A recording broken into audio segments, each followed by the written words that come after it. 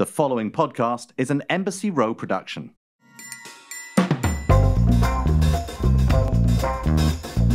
Welcome to a new episode of the Shaken and Stirred Show. I'm Nigel Barker, and I'm here with my incredibly funny, at least he thinks he is, co-host Tom Astor. How are you, Tom? I know I am. I woke up the other morning in hysterics. I, Crying. literally- I woke up, lo- uh, yeah, I woke up in hyster- hysterical laughter.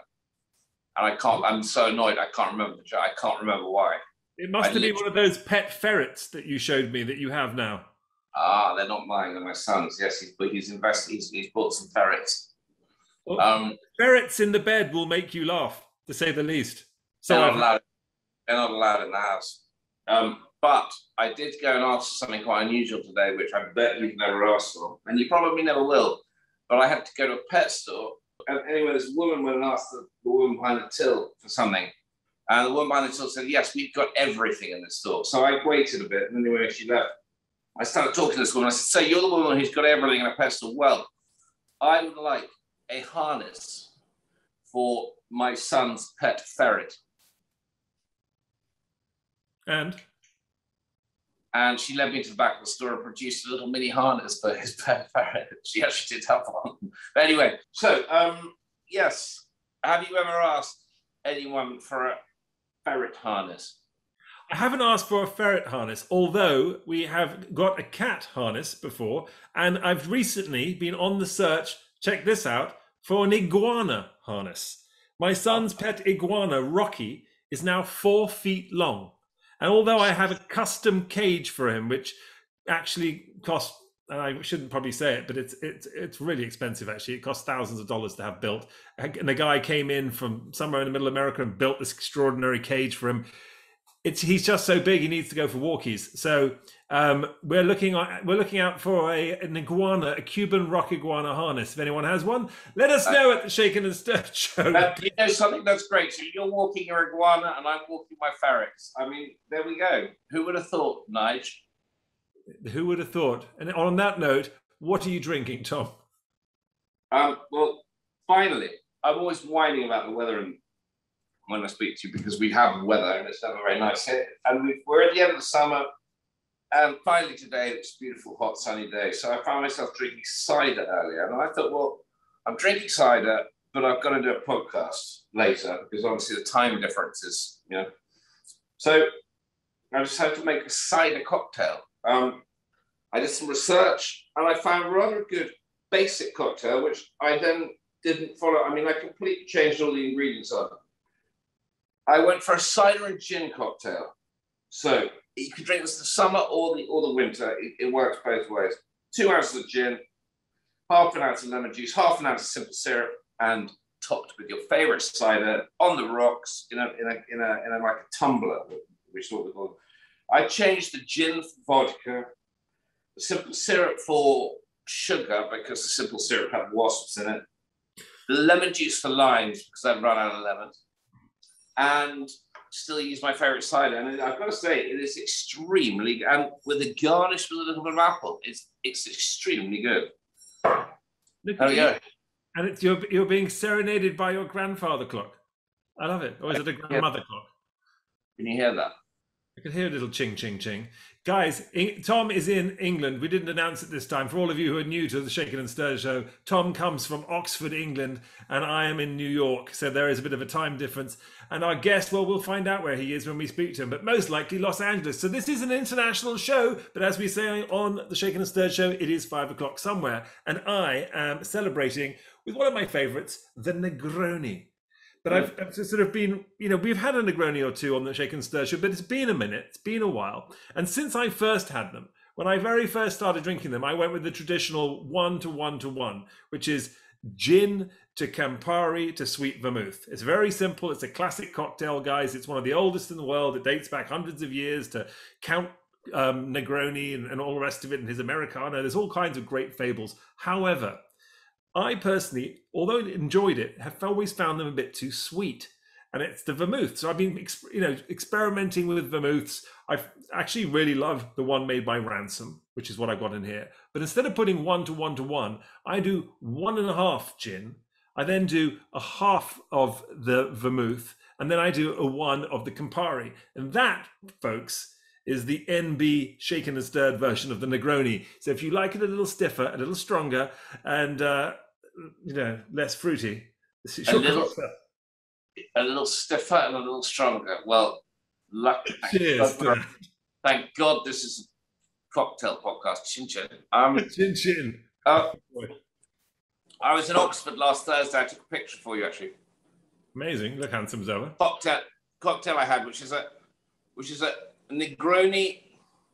It's called a, a Negroni Rosso. So it's like a Caipirosca Negroni. So it's got cachaça in it, um, which I suggest you also do an experiment with. You know, think about cocktails. You can do anything you want. Just, just mix the taste, right? You can sit there and go, this is a this and this is a that, but really mix it. You can do anything you want. And these guys in this rather good restaurant in, in Oxford had, had created this uh, Negroni and, and added cachaça, and it, and it was really, I mean, it was, it was very sweet, but it was it was unbelievably delicious. What, what is cachaça? Cachaça, it's that um, Brazilian, uh, you know, um, it's like a, you know, they use it in um, what are they called? You know, where you muddle that, where you, where you crush the mint. Oh, really? Is it yeah. a mint liqueur? Oh, mint no, yeah, no, you could use it in that. You can use it. You can literally put it and crush mint into it. It's like um, you know, what's it called? Mojito.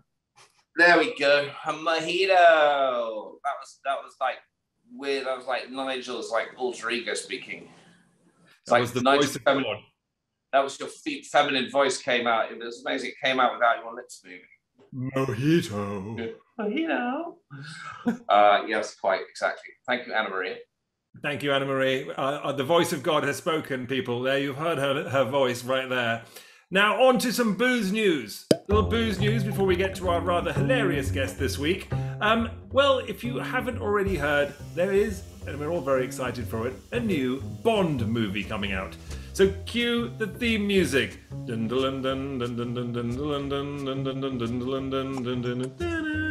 probably gonna have to pay for that much. I wouldn't say I wouldn't do that. Probably we can't afford it. We can't afford it, people. But we can't afford to miss this either, because Bollinger is doing a special with the new Bond movie, and Shaken Not Stirred. Don't forget that is where we got our name. We are shaken and stirred.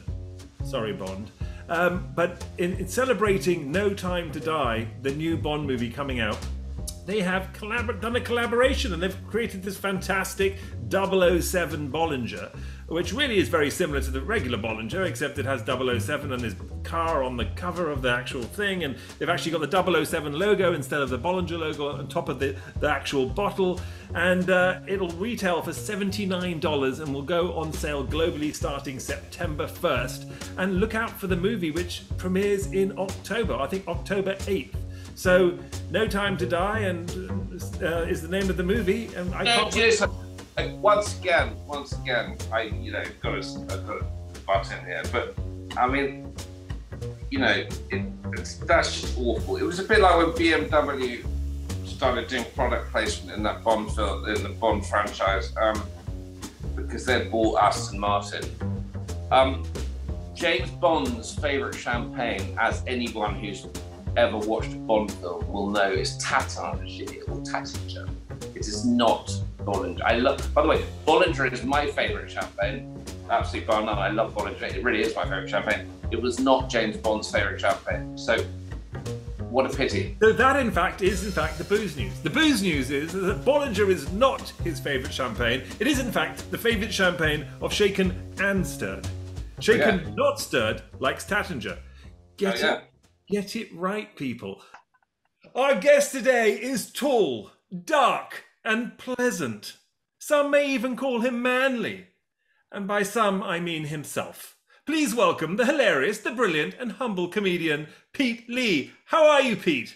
I'm doing wonderful. Nigel, it's so great to meet you. Tom, it's great to meet you as well. Uh, man, uh, you're uh, you're a handsome guy. I'm a straight guy, but like even just on this podcast right now, I'm looking at you going, "Am I?" You know, like, you're a very handsome dude, and wow. you add in that and you add in that accent. It's just unfair to other men. I know Nigel's always doing that to me. It's I can't. It happens all the time. He's always saying it. Um, tall, yeah. dark, tall, dark, and pleasant. I'm like, literally, if someone ever said that to me in a fucking podcast, I would just go, literally, Nige, fuck off. I mean, tall, dark, and pleasant.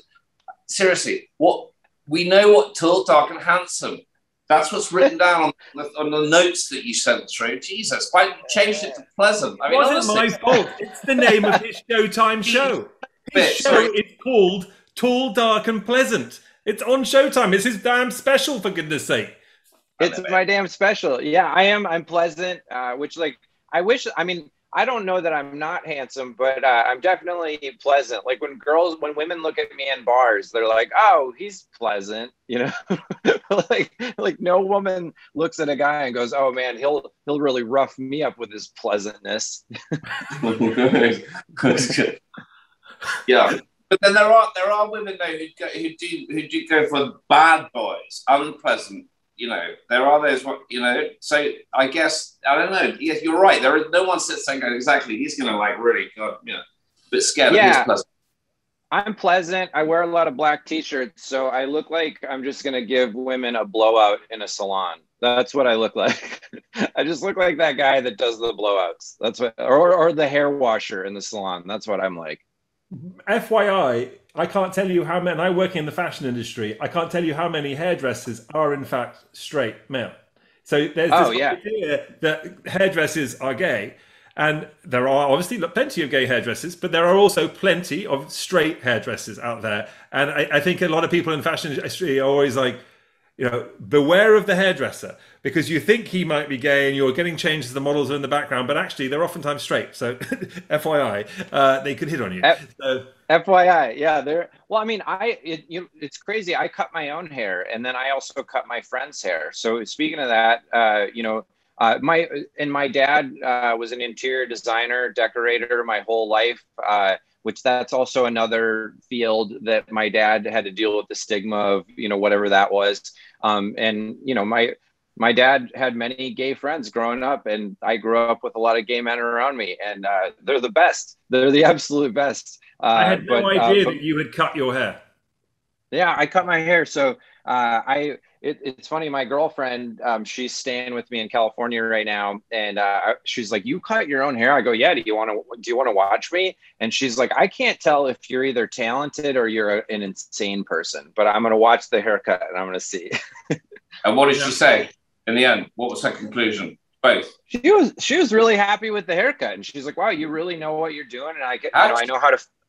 How did you do the back? Sorry, literally, because you, it looks like a really great haircut.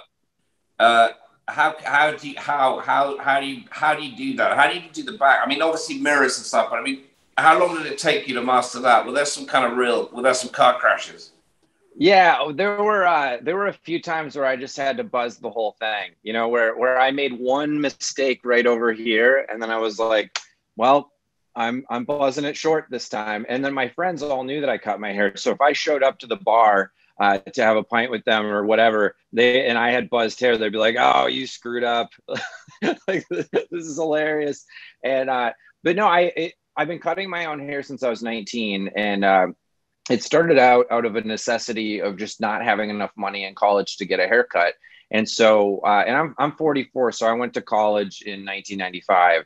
So when I first started cutting my hair, I bought this Conair hair clipper kit from CVS, which came with a DVD that you could watch. And the DVD was only five minutes long because they're like, you can rewind and see this. And then they taught you how to, you know, fade it and cut the top and do all that stuff. And uh, I was pretty terrible at it at first, but I just would cover it up with hair gel. You know, I'd like fix it with pomade. And uh, over the years, I got I got good at it, and I got good to the point where now I cut a lot of my friends' hair. And uh, you know, so they'll come over to the house, and you know, and I, I sit them down in a chair. I, I put a little tarp over the chair so that I'm not collecting hair for the next two years. Uh, and um, yeah, I cut, I cut my friend's hair. So they went from like making fun of me about it to being like, hey man, seriously, can you give me a haircut? if I wasn't doing stand up comedy, I probably would I probably would be a hairstylist. I I have a knack for it. It's quite good to have a to have a you know fallback plan in case the first one doesn't work. Yeah, especially during a global pandemic. I mean, I don't know about you guys, but my whole everything went away. I mean, with you guys, TV production went away too for a long time, and uh, there was a period of time where because I've been doing stand up comedy for 23 years and then and I had never missed more than 2 days in a row of going on stage. And then all of a sudden it was 8 months of nothing. And I'm I'm lucky that I'm I'm smart and I saved my money and I was able to I, I just I got a beach house in the Palisades and just surfed every day basically is what I did. I treated myself to a pandemic. And uh but there was a time where I was like am I gonna am I gonna be cutting hair like, is this going to be my new thing? Do I need to go get my hours in so I can get licensed? Maybe that's what's going to happen. Well, that Conair, uh, whatever trimmer that you bought, those things it went unbelievably out of control during the pandemic. Everyone was cutting their own hair. And I'm not sure if you noticed, you couldn't buy one for love or money. All of those trimmers, those uh, uh, you know the buzzers, you, they they were sold out and and back on the market for like three or four times the price. It yes. was like a sort of heyday for, for people doing their own hair at home. And you know, I've got a buzzed head. I went and bought what, two of those things. I think I spent north of five hundred dollars on the things, which is unbelievable. Yeah, and there are different levels of them. Like I just bought a really nice clipper kit, uh, like like a, a, real nice like to to get your level of, of detail in there. Like you need a really good one. You really like it does matter. You can't just have the fourteen dollar Conair one. a level of detail. This is called balding that's not yeah. a line. Level of detail. Level of detail. I look like I got run over by a lawnmower, for God's sake. That's the most polite. So that is one of the most pleasant ways of describing a, a, a, a widow's what's it called, a widow's peak that I've ever heard. Well, there you go. Tall, dark, and pleasant is our friend. So, listen, before we move on, we've completely just jumped straight into this conversation. But what are you drinking, Pete? Uh, so I love Macallan Scotch. It's my favorite, favorite thing on the planet. I think that this is made out of angel spit. It is so delicious. I think I don't even think it's an alcohol. I think it's a vitamin. I take it as a supplement. it's it's absolutely amazing. Which my you know my whole comedy is all about being kind and sensitive. So you wouldn't think that I'd be a whiskey on the rocks or a whiskey neat drinker or even a Scotch guy, but I just love it uh, years years ago, one of my best friends who owns a club in Minnesota, Acme Comedy Club, he loved whiskey. It was the 20th anniversary of his club, so I actually took a Scotch drinking class. Uh, where I went to it, they they ease you in because when you first start drinking Scotch, it tastes almost offensive to your senses.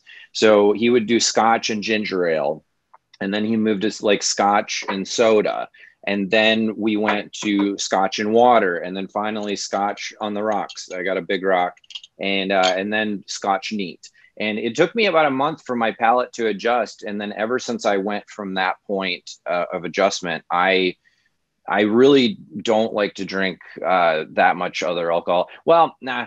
That being said, I go. My girlfriend and I, my girlfriend Nicole, will go out to dinner, and there will be a specialty cocktail. Um, I love mixology drinks, all of that kind of stuff. Uh, and I, I will have one of those, but usually my second drink, I go back to the Macallan. And Macallan, especially the 12 year, that's a great drink. That's one of the top ones up there, in my opinion, as well. It's one of my favorites.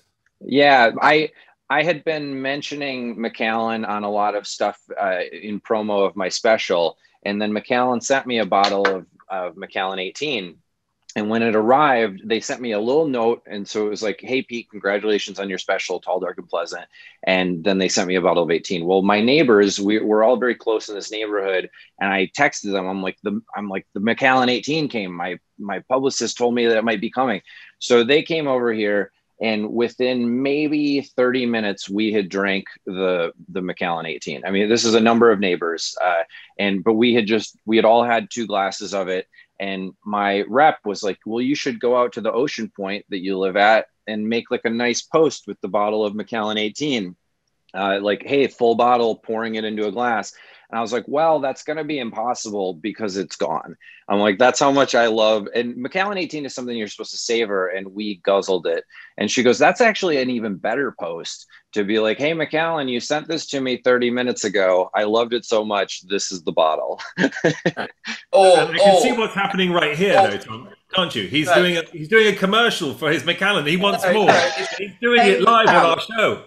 It should be a Macallan, the kind of like the, the you know the kind of bigging up I'm doing for your label, you know, is so typically Scottish to say, what, we must send that very funny comedian over on the west coast a bottle of a bottle of 18 year old Macallan. Just the one bottle, though, mind. We don't want to send him too much because you know this. It, this I mean, it's of God, that's mean. Why didn't they send you a fucking case? I mean, it's outrageous. Yeah, It's- come on. come on, Macallan, get step it up a bit. Jesus, one bottle of 18 year olds. Come on, how, seriously, how long is that going to last? As you said, 30 minutes. I mean, Yeah. come on. No, Pete, I think we need to call Balvenie. Is what I think. We need to Yeah. get them on the case. You know, we'll see what's happening. I know that Ransom do a good one too, so we can check them out. Yeah. I, Sure. Hey, hey, Macallan, guess who just became a free agent? I am. Yeah. I am. Rec- I am recruitable by other Scotches now. That's uh, Glenn. Glenfiddich. Oh, oh, Glenfiddich is on the phone. Hold on. They're- oh, they have a case. The only, Yeah, the, the only case. problem with that, the only problem is my sweeping statement did refer to Scottish being people being mean. Uh, Um, so I think we'll find that Glenfiddich is also out there as well. So you might find they'll send you a little mini bottle. I know. we need to move over to the Jamesons. Come on now. We're going Irish. They'll send you a case. Oh, I love that. By the way, mm. I, so I just got a text. I just got a text from my girlfriend who's in the living room, and every time that I do a podcast, it's a tradition where she knows that when my phone lights up, I'm going to see it. I'm going to see her name, and I'm going to want to check it. So every single time that I'm on a podcast, she tries to distract me, and it's tits. And so I just wanted to bring you guys in on a new podcast tradition. Okay. Wow. All right. Uh, so she Wait a second. that- She showed you. A, she sent you a photograph of her tits. of her tits. Uh, and she does this every single time that I've been doing a podcast or a TV show or any anything where I've been promoting my special. She sends me tits, and in this particular photo, because she knows the subject matter of your show, she sent her tits with two mini bottles of champagne over the nipples. That's, I mean, Wow. I think Wow. I'm, I Hey, think I'm so- getting married, you guys. So in a minute, so in a minute, I'll tell you what we're going to do. I've got it all worked out. In a minute, you can just like stop. You can wander in there and go, well, that was pretty good. You know, that was fun with those guys. Anyway, listen, I've got to jump on another, I've got to get on another podcast now. Hang on a minute. Tell you another one. We can get another picture, like two for ones. I'm just always doing podcasts. I'm like, hey, anytime the door to my office is shut, I'm gonna be on a podcast. So I'm gonna need some more sexy pics. That I I'm impressed by the creativity. Um, one thing that I've done on on previous podcasts, and I know um, I know we have uh, we have the the meat of the show to get to.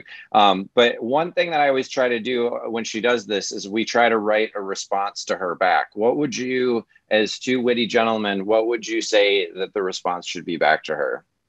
Um, well, first of all, um, without my immediate reaction is she's just popped my cork twice. Um, but, um, I think that's the winner. I think that's the winner. All right, uh, you yeah, I can't even say what came into my head, but yeah, twice. I don't know if once it'd be again, Tom, we can't say what, what- what's just gone into your head. No, I know. Really that you've you've literally just made me wittier than I already am. Uh, she's gonna love that. That's going to be absolutely amazing. All right, so let's talk about this, Mr. Funny Man. I mean, you know, what for you? What, what defines it? What defines funny? I mean, I, I think that's something which, in a way, is a question of, of the ages. But you know, you just said that I just made you funnier than you are. What what is funny? Um, it's it's interesting because I think that there there are two different levels to it. There's there's people who are naturally funny who haven't refined their sense of humor and honed their craft, and which most of my friends are. George Carlin used to say the funniest people the funniest people in the world aren't the comedians you know. The funniest people are your friends, and I guarantee it. So listen to them and write down what they say because you can probably use it in your set uh, in terms of going from being just like a funny person who has natural wit to a comedian, you know, we're we're basically figuring out how we can structure uh, structure things so that they they hit even harder. Um, we're whittling down a funny idea to the bone, and then we're you know releasing that, and we have to be able to go up in front of an audience with um, you know no no band no other people on stage with us and just stand and deliver with a microphone and have our words be funny. Uh, oftentimes to a crowd that is looking at you like hey i'm comfortable if you're uncomfortable. So um and one of the one of the most necessary pieces to that is you want to figure out your comedic point of view. Uh, you know, most comedians like Rodney Dangerfield was like, I get no respect. Uh, you know, Jeff Foxworthy was like, you might be a redneck if. My comedic persona is basically just how much it sucks to walk through life and be a kind person.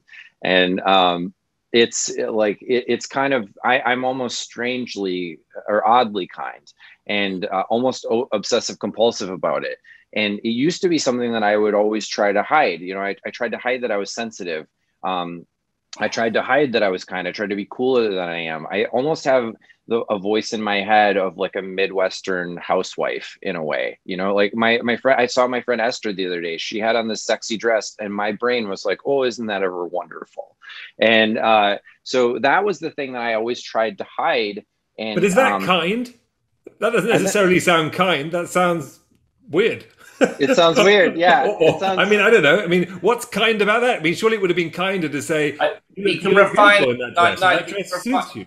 You can put it in psychological speak, and you can refer to yourself as an empath. That's probably is that, is that... Yeah, I think that that's a way of saying it. I have a swollen sense of empathy, and I I never want. I don't want to offend. It's kind of all under this umbrella of Midwesternness and um, like kindness, sensitivity towards people and but it was always something that I wanted to hide because I didn't feel like it was necessarily the most masculine of traits. And um, now I, I, you know, as I've gone through a lot of therapy, I, I actually do realize that being kind is max is very masculine. It takes strength to be kind. Um, but there's a saying in comedy. Who told you that? that um, I think I read it on an internet meme. I think I think I I want to say that I read it in like some deep book, but I think I saw an internet meme that said it take it takes strength to be kind, and uh, and I was like, oh, I'm going with that. Uh, but uh, a lot of times, what your comedic persona or your point of view is is really the thing that when you're when you leave the house you're, it's the thing that you're hoping people won't notice. You know, Louie Anderson is somebody who's been traditionally overweight uh, or historically overweight. And I remember his first Tonight Show set. His he revealed this uh, comedic point of view in one line. He goes, he goes, uh, "Hey guys, I can't stay long. I, I'm in between meals." And you know, so he's showing how he views the world as a a big fat guy, and um, you know, to put it uh, unkindly, uh, but you know that that's something as a comedian you have to go out and immediately you have to you have to tell the crowd like what your comedic point of view is in a very concise uh, way or like an opening bit that works. And so it has to make them laugh. They have to see how you see the world. And then every joke um, you know every joke is a setup and a punchline. It's sort of like a funny riddle. So you take them in one direction and then you twist it and you go in another direction and but at the start of that you have to like tell them your comedic point of view then you have to tell them the setup and then you have to hit the punch and then there's taglines after that. So that's kind of the um you know the the structure of a bit uh you know if if i'm giving like a little comedy class or um, i guess since we're talking about drinks and ingredients those are the ingredients to a bit or a joke. Love it, it, it it's the foundation for all that. I mean, for for for, for comedy, as you say, is is self deprecation a kind of like a fundamental, you know, element to to to to big to comedy? I mean, is that because what you just described? Is, is that something that runs throughout? I mean, is that something that's that's fun? You know. Yeah, it's you have to be self deprecating. Um, there's uh, I forget who came up with this rule, but they call it the rule of shitting and the rule is that if you shit on yourself first, you can shit on anything else and the audience will accept it. But if you just go out and start shitting on other people and other topics, people will get offended by it. So one of the one of the main ways everybody right now is afraid of being offensive, they're afraid of being canceled, whatever. But it, as you know, as a comedian, if you don't want to offend people, you need to first degrade yourself so that they realize that you're coming from a place of humility and then they'll accept you making fun of something that might be in their spectrum of personality or experience. Interesting. No, it's it's, it's fascinating. But now, there are comedians surely out there who who go with the who are offensive, and I mean that's just their stick too. I mean it's sort of they, as you said, they come out and they let the audience know their point of view, and that can be just that I'm an extremely grumpy, offensive guy, and that in itself can be funny, right? I mean, I, I, I wonder too. You know, is it easier as a comedian to be say offensive than it is to be kind because it seems that being offensive is is shocking and so the shock value adds to the sort of the you know moment and perhaps would make you laugh nervously giggling perhaps because you've thought it but you've never would dare say it versus kind is something which seems perhaps less shocking more easy and not doesn't seem like hilarious so how do you yeah. make kind funny well that was something that i really had to go through and and figure out because uh, you know, I I was a Midwestern comedian and I was kind of doing comedy on instinct. And um, uh, and then I moved to New York City and I was around a lot of mean comics. Uh, you know, I was around a lot of comics that their their whole persona was I'm the worst and everything is the worst. And then I started to try to adapt that style of like, well, if I'm in New York now, maybe I need to be a little edgier. And then I would go up on stage and the crowd i would be like so like here's a mean joke. And then the crowd would be like eh, nope we don't we're not buying it. And they hated me. And then i finally had to i i remember i told a joke that was from the opposite point of view. It was, it was just like uh, it was a true story because i noticed that when i walked down the street in new york city i would say hello to everybody. And people in new york don't say hello to each other and uh, so I was, I was like, I was like, yeah, I'm, I'm Midwestern. Uh, I, I, go, um, these were two jokes back to back that were true from that day. I, I, go, I go, sorry if you don't like me. I'm Midwestern and I know you don't understand my personality, but I was like, I'm the guy that like waves goodbye to taxis. You know, I'll be like, bye, drive safe, text me when you get home later. And then while I'm walking down the street, I'm like just saying hi to everybody. And I'm like, hi. And people are like, no, like, like, no, don't do that. Like you're scaring me. And um, I, I did those two jokes back to back one night, and it was like I had an epiphany. I was like, okay, um, if if the if the point of view of I'm the worst is funny, then the photo negative of that of I'm I'm nice, I'm overly nice, I'm ridiculously kind. Uh, that has to be funny. Um, uh, in uh, in a lot of and so i was trying to look at the what the photo negative of a lot of i guess the the most successful typical comedians were. And i'm like how can i flip that and make that my point of view? Um, one of the areas that i studied in comedy a lot um, i have a lot of friends that are very successful uh, urban comedians. And one of the big points of view in that community is is i don't trust nobody. And so i was like well how funny would it be if I trust everybody?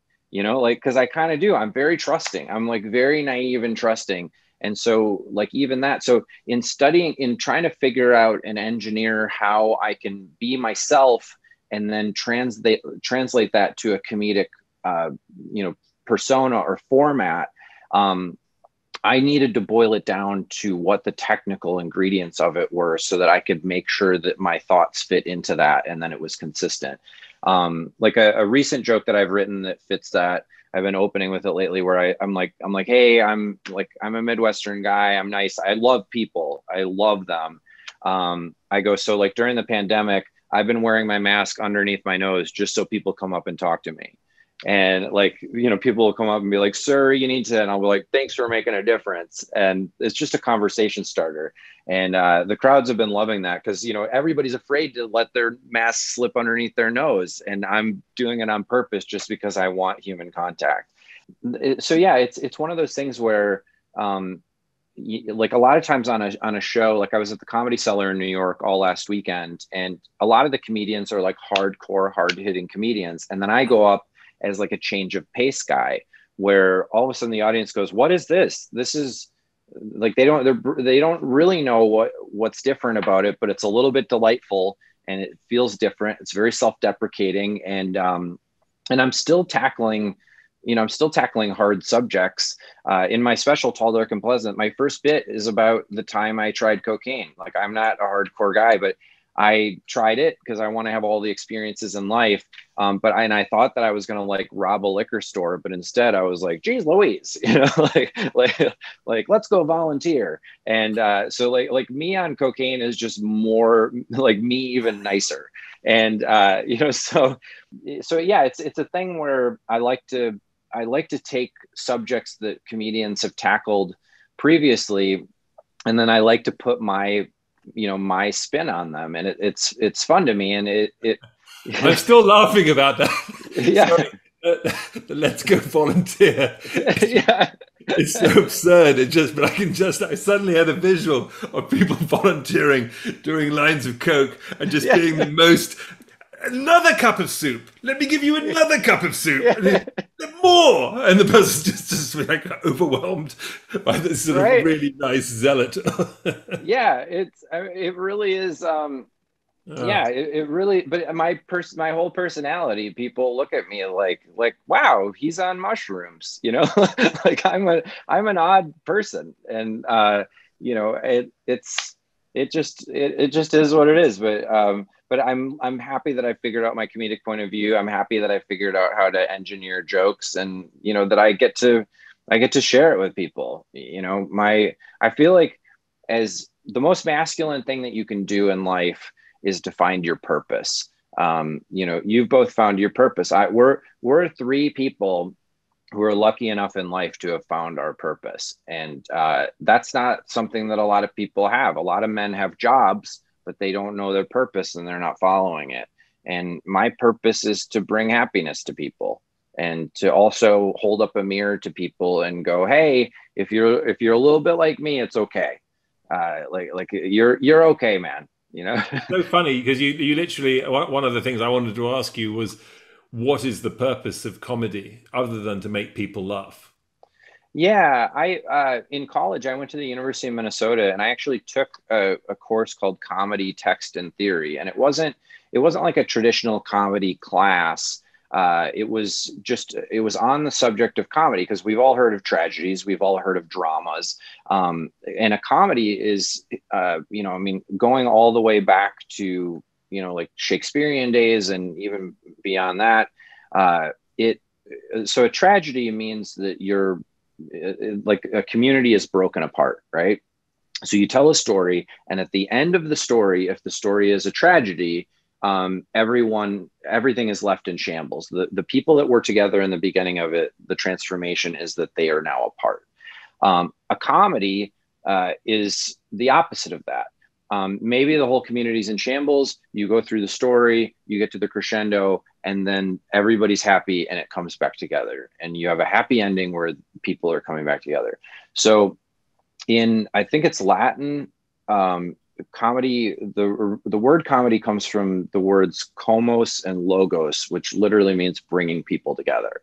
And so, uh, it's it's interesting because talking about a lot of those edgy comedians, I think that they are bringing people together kind of through bitterness. You know, hey, can we bond on bitterness? And can we can we just all agree that this sucks? And that's how they're bringing people together. And my comedy is kind of bonding based upon happiness and communal experiences. And um, another difference, just to bring the last subject and this subject together, is comedy is emotional um, there, there. I used to. I studied improv at the Upright Citizens Brigade Theater in New York City, and they basically said that if you have a funny punchline, you can make somebody laugh for thirty seconds. If you if you make the whole situation emotionally charged, you can make people howl for ten minutes. And so, uh, a lot of times, the reason why comedians are dirty is because dirty words are emotionally charged. You know, if if somebody stubs their toe and they go "fuck," you go, wow, that's you can feel the emotion to that. Um, but I also feel like there are different ways to, to accomplish that. So a lot of times in the setup of my jokes, um, instead of being like, yeah, I was with my mom the other day, um, like I, the setup might be like, do you ever feel like you're with her, your mom and you're just constantly disappointing her? And then the crowd would go, they tap into it emotionally. So you don't have to be dirty, but you you get to you know you get to kind of pull the crowd in with you. And i think that in a way you know stand up comedy is is essentially like you're you're going up in front of a crowd and you're you're talking about shared experiences that are emotional to people. And then they're going oh i've i've thought that too. I've felt that too. And now i don't feel so weird. And that's kind of the purpose of stand-up comedy. It, it's um it, it's kind of in a way and I'm not religious, but it's kind of church for the nuance of life. you know, you all you all get together and you you sit there and then you feel like a sense of community. Hundred percent. I mean, I think that's what you know how we pick our friends too, right? It's you pick your friends mostly by the, the ones who make you laugh and the ones that laugh at your jokes and you know, I mean, I don't know how many times I'll say something that's probably crass. My wife thinks it's hilarious, and then someone will turn around and go, "That's why she married you." You know, good thing you found each other because she's the only one who thinks you're funny, kind of thing.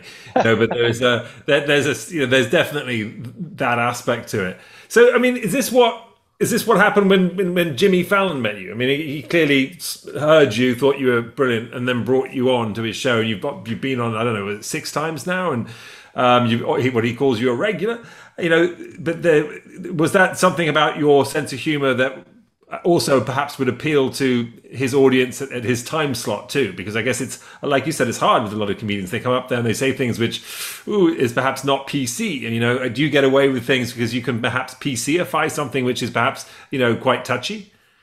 Yeah like i did a joke on jimmy fallon and i also did it on my special that it was funny um questlove one of the roots came into my dressing room and um, I, I, have a bit. Uh, I'll I'll tell you the bit, and then I'll tell you you know kind of the breakdown of it and why I wanted to do the bit.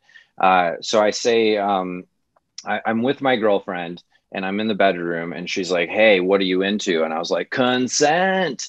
And i'm like i'm like i love consent so much. It's actually the main turn on. Like like if my girlfriend's like i want to i'm like i'm in you know like i and i go i love consent so much that i don't even use those credit card chip readers until it tells me that i can you know like like every like if you were trying to put it in too early and it's like quack quack quack and i'm like whoa i'm not a bad guy you know like i i'm not a bad guy. I respect you. I you know and uh and then i go through the whole thing and uh that it was funny because Questlove came into my my dressing room afterwards at the Tonight Show, and he goes, he's like, that was such a beautiful, timely bit about consent and about um, you know, like like there's a whole complicated debate right now about um, you know, like how how women are feeling sexually, how they've felt wronged throughout you know history, how things are starting to get better now. Um, and you just like from a very kind fun angle you figured out a way to tell the audience your direct point of view of like always get consent and always keep getting consent. And and like consider like be kind to women and consider their feelings and and make sure you get consent again. And so it it's something where if you were to go up on a late night audience and just dole that out while you'd think that that's a point of view that you'd go, well, duh, it's a, it's a really heavy subject right now, you know, in, in society. And it's always been kind of a heavy subject. But I figured out a way to make it sweet and cute enough that it was palatable enough that it got through people's defense mechanisms and it landed. And then people got the message. And um, yeah, Questlove, his real name is Amir. He's like, he's like, that was so great that you were able to do a bit like that on our show. and right, do you think that kind of thing, what you're talking about, right? So kindness. I was talking to a friend of mine last night, we, were, we were talking about.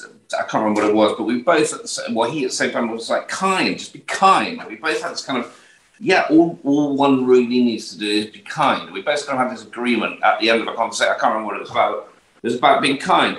In the in, in the kind of olden days, as it were, right, you have Christianity, you'd be beaten into you by some motherfucker with a ruler or some Catholic bastard sadistic priest, you know, will be beating shit out of you about like, you know, be kind and be nice to your neighbor and, you know, and all of this. Well, kind of like, you know, uh, anyway, I mean, you know, religion beat it into people, but that was yeah. kind of, now that kind of, you know, religions, but you know, in certain Western Western society, religion's playing less and less of a, you know, role, I guess, on, on a day-to-day basis.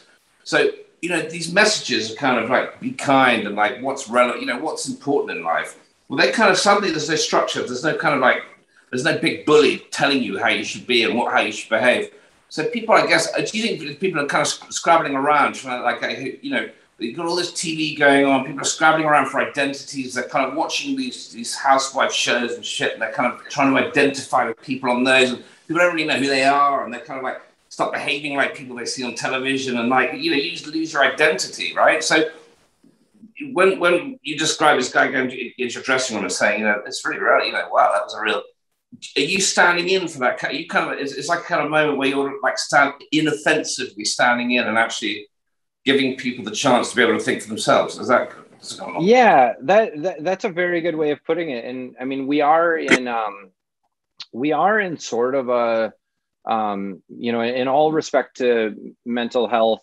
Um, I, I you know, I've, I've gone through a lot of therapy, and I I respect mental health and and all that kind of stuff. But not to use a term loosely, but we are in sort of a bipolar society right now. You know, if if you think about uh, when you watch the news, um, you know, there's there's the, the person in the center, and then there's two people that argue about a point, and you know, and so it's it's like the extreme of this point, the extreme of this point, and I think when I think people are just much more human than that, and um, you know, and and also like you said, it used to be that that people you know sought the guidance of the church. And then now it's more like people are figuring things out. People are reading a lot of different things. Uh people you know therapy is sort of a church to a lot of people. But i don't um, think people are reading. I think the thing is i think i'm going to hold you off on that one because i think you know i don't think people are reading reading a lot of stuff i think i think the half problem you know in the old cathedrals right in europe you'd have the west door and it would be carved with kind of you know allegorical, you know, characters. It would basically have a biblical story carved in stone because the people coming in the pilgrimage can't read or write.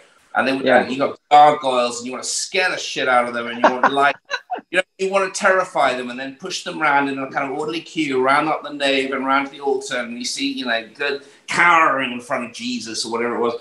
And then you know you got people with weird fucking smoke going here and hoods and the fucking KKK hoods that you know in the yeah. Spanish way, you know. Yeah, but the KKK, you know, there's not yeah. an accident they copy the Spanish Inquisition. These people were fucking real. I mean, they were like terrifying the shit out of people. And it was kind of an oppressive, you know, way of doing Now, you know, society these days, I find I don't watch television. I find I find television oppressive. I find the news oppressive. Uh-huh. I find politicians oppressive and, and, and depressing. Um, and I find that actually people don't, when you said earlier, you know, people read a lot more, people don't read. I don't think they read. They fit through Instagram, they watch shitty television. And, and literally, it's like, I find it terrifying. I don't find it structural, and I don't yeah. find it formative, and I don't find it like forward looking, and I don't find it optimistic. I really don't find anything optimistic about the way the, the media these days is, is sort of structured and, and, and, and, and operates. I mean, so you in the middle of all this, coming back to what you're doing, so you're the voice of I was thinking of this earlier, you know, you're the voice of, you're doing comedy, you're doing the opposite of what norm, normally people will sit there and laugh at a comedian because the comedian sits there and says, how, talks about how ghastly something is or how awful something is. And people can sit there and go, oh my God, that's so funny, that's so awful, I know that, oh my God, it's so, but thank God, you know, we would, you know, that's not us, but, you know. But to do it the other way around, you're kind of like laughing at being nice, which if everyone was kind and nice, you know, Yeah. Uh, the world really probably would be a better place, right? I mean, you know, yeah. why, why, where's it, where's it, why does it take a comedian these days? I mean, you know, like to, to, to basically be trying to sort of, you know, you're the only, you say you're one of the only mediums in, in, in, in television that, that kind of, that basically is preaching um, civility, I mean, which is what you're saying, right? Yeah, I mean, I think that I think the world is far, full of a lot of hard stuff, and then we're being, eh, you know, to boil down what you said, we're being distracted by a lot of bullshit. You know, like like you said, we're we're being distracted by watching housewives argue with each other about you know just ticky tacky stuff, and um, yeah, and it, so it's it's almost like we're we're being distracted by a lot of the, or we're being distracted from a lot of the uh, horrible things that are happening by garbage uh, by things that are also toxic and they feel bad. And, uh, you know, to bring it back to the religious thing that you said, like I said, I'm not, I'm not, uh, you know, really religious. I think I'm more agnostic, but um, I like, I, here's, and I'm, I might piss people off by saying this, but um, I, I believe in love. I, I believe that there is a power in the world called love. And, you know, every wedding that we've ever been to, we're sitting there and they read one of those passages where they go god is love and love is god and i actually think that that's that's w- the power that is in the world.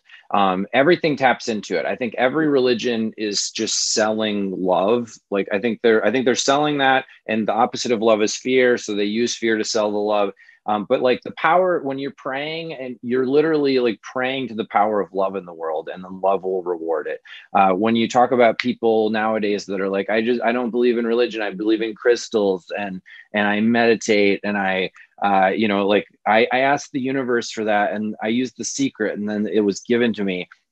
I think that's the exact same thing. I think all religions just tap into the same thing but it's kind of a different it's it's different culturally and it's a different way of kind of marketing love to people. And also it's a way to monetize love. Um, you know not just religions but you know yogis and people that sell meditation and all that kind of stuff.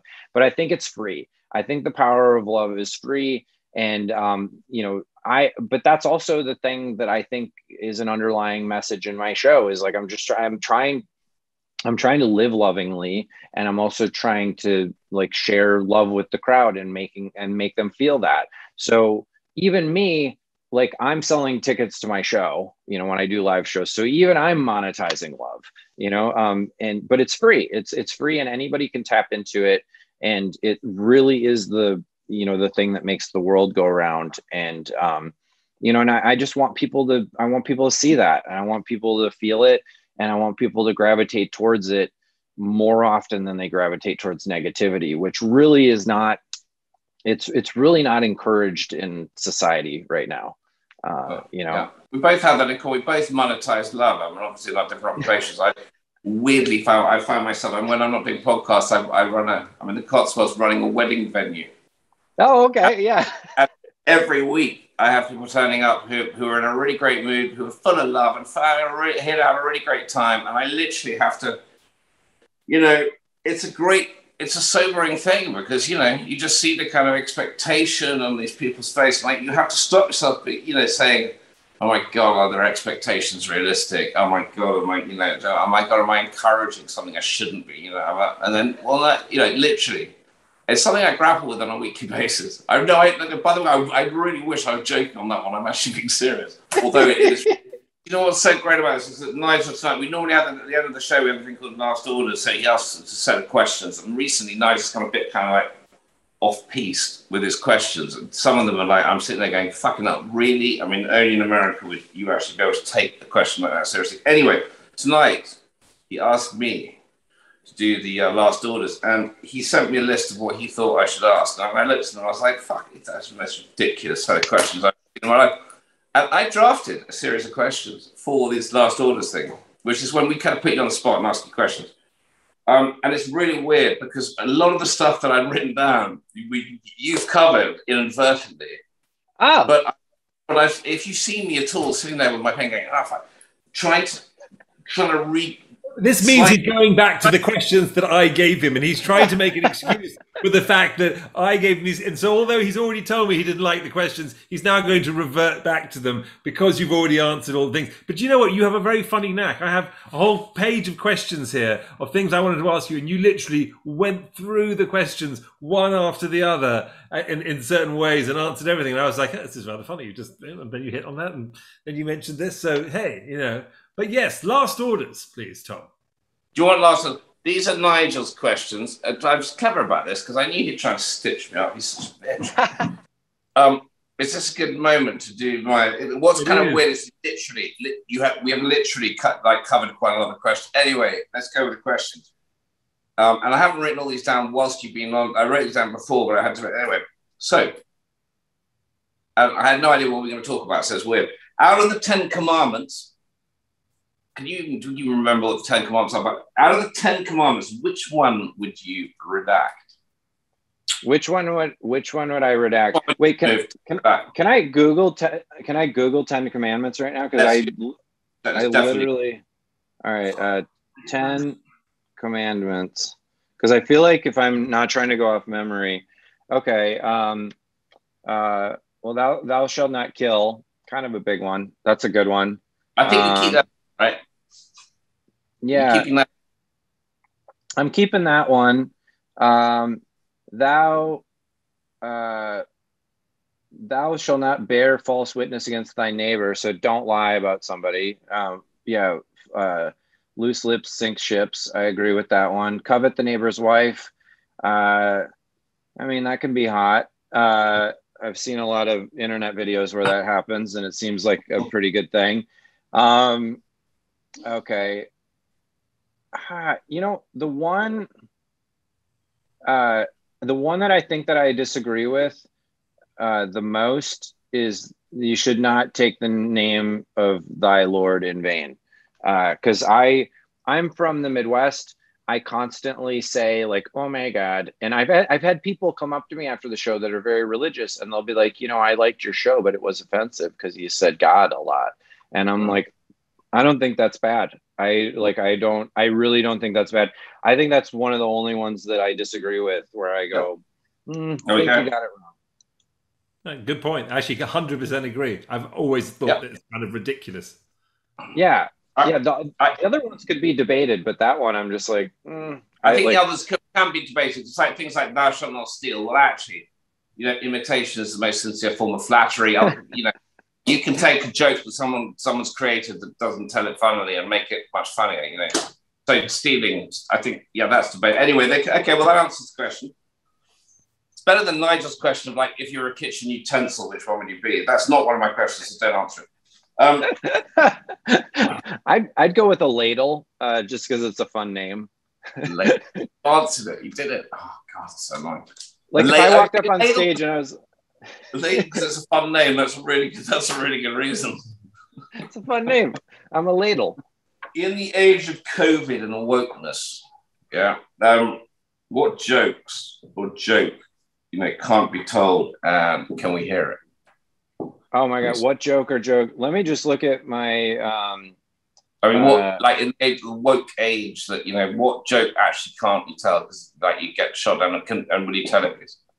You know, I'll tell you this. I've been doing a bit about wokeness lately that um, it's funny when I even start to go into it because uh, I'm kind of making fun of, of it.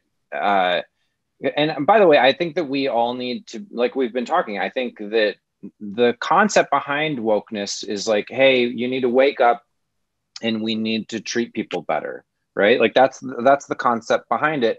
But i also think that within wokeness there's a lot of people who are bullying people because it's fun to bully people for a good cause. We all we all want to punch somebody in the face but only if it's because they're harassing the old lady that's crossing the street. You know like, like it, it, it's like a hero complex. And so when we see something that's an injustice in the world and a lot of times now it's like an online takedown what people don't realize is that it's just online bullying but for a good cause. Like you're actually just spitting venom at people. Um, so i've been i've been talking about that subject and um, i've been i've been doing a thing where like because lately people will tell me like oh well you can't like that product. Uh, like somebody told me the other day they're, they're like i was like well i'm going to go take an advil and they're like you shouldn't take advil because they actually donate to like they donate to companies and this and that that the money ultimately gets funneled to like the Taliban or like like like it because it's an international company like some of the money ends up going to those people. And I'm like well first of all that's that's insane because all money money is like the ocean. It, it flows and some of it's going to go to bad people right? But the fact that people are telling me that I can't take a product that makes my sinuses feel better after I surf uh, is insane. And my my whole thing is like every company or everything that everything that anybody any of us likes, there was a really terrible person that worked there. You know, um, like uh, Dr. Pepper is a Southern company uh, that was founded in like the 1920s. Do you think the founder of that was just as woke as other people? Like my friends, they all drink bourbon and they're all evolved and they're, they're hipsters and they're drinking their bourbon and they're like we're just all talking about ideas. I'm like do you think that the bourbon brewmaster in the hills of kentucky is sitting there like oh my stars i am woke af you know like like i i am all about brewing bourbon and social justice. No he's probably a terrible person. Uh so like i I I think that the to answer your question, I think that the subject of wokeness itself is not even people don't even they tighten up when you want to discuss it. Uh, I think that, I think there's definitely scope some chase. I mean, just even what you were saying, right? Some woman coming up to or man, whoever it was, coming up to you saying, "Don't use Advil because the money gets to the Taliban." I mean, for fuck's sake, they t- Taliban just around Afghanistan in two weeks. What do you think they're driving? They're driving fucking Humvees. They're wearing yeah. American fucking bulletproof vests. They've got night vision. Popping Advil. They've got fucking yeah. American tanks. They've got fucking Apache helicopters. They've basically got billions of dollars worth of American kit. But don't take Advil. Um, yeah. yeah. right. Don't leave your fucking tanks in Afghanistan next time. Do you know what I mean? It's like, okay, I, there's a lot. I think you, there is jokes there is a lot of joke with woke. I think that kind of thing is is really. But so so um, we'll get to the joke and woke, but I don't think you could tell a shocking one punch punt one liner because you basically could. If, I suppose you're a stand-up comedian, because you could either split a room or just or just yeah. like a popular person in the world in an instant. Yeah. Um, now, next question. Nigel's going, oh my fucking god, what's he doing? Right? What? Because his question. I mean, I'm loving it. I'm loving it. Go ahead, Tom. Okay, desert island. You're going to be dropped on a desert island. Girlfriend tits or angel spit? And by the way, I made that up while we were doing the thing. I was quite pleased with myself, man. That's a great one. Um, angel yeah, spit, by the way, Nigel, in case you missed it, is what his ref, what he called Macallan's.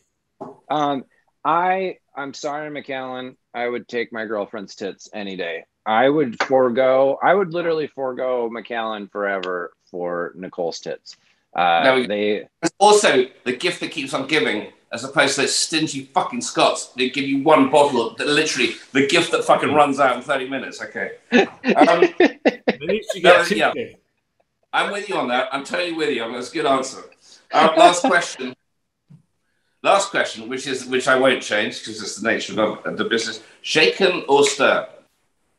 Uh, definitely shaken.